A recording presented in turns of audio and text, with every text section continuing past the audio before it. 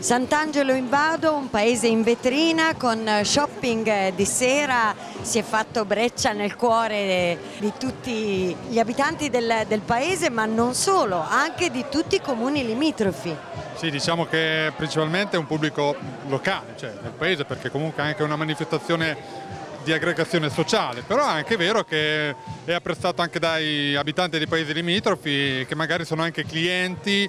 già di noi stessi commercianti, quindi è un'occasione buona per fare una passeggiata sul fresco della sera in quest'estate un po' torrida. Ecco. Eh, quindi dai, anche questa qua è una quarta serata dedicata alla moda, quindi alla sfilata, dove alcuni dei nostri negozi espongono le loro diciamo, anteprime, le loro novità per le nuove collezioni. Ecco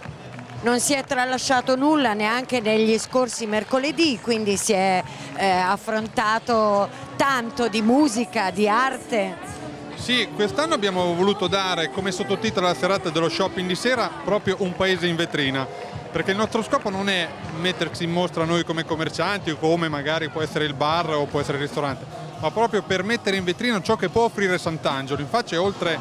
la partecipazione dei negozi, come ho detto, nella sfilata, nelle altre manifestazioni, oppure con il servizio dei negozi aperti alla sera, i bar e i ristoranti che propongono ogni sera un menù particolare, libera scelta così in modo che anche gli stessi chef possono sbizzarrirsi e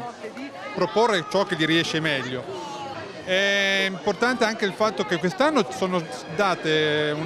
stata data una vetrina anche alle associazioni Abbiamo diviso le sei serate eh, in, con sei temi, di cui la prima era dedicata alla musica e sono stati presenti vari artisti di strada, un piccolo mini festival dei Basker. La seconda serata è stata dedicata all'arte, dove erano presenti artisti locali ma anche dei paesi vicini. La terza serata allo sport, dove era presente tutte le principali associazioni sportive di Sant'Angelo.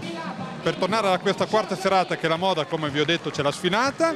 La quinta serata, eh, che sarebbe il primo mercoledì d'agosto, verrà fatta una festa carnevale carnevale perché verrà dato un po' un tema comune a tutti i ristoranti, tutti i bar che si vestiranno seguendo un certo tema e in più ci sarà durante la stessa serata una piccola passerella dei bambini che potranno rimettere i vestiti che hanno voluto mettere per il carnevale perché proprio viene dedicato anche uno spazio per ciò che riguarda i bambini, molta attenzione ai bambini.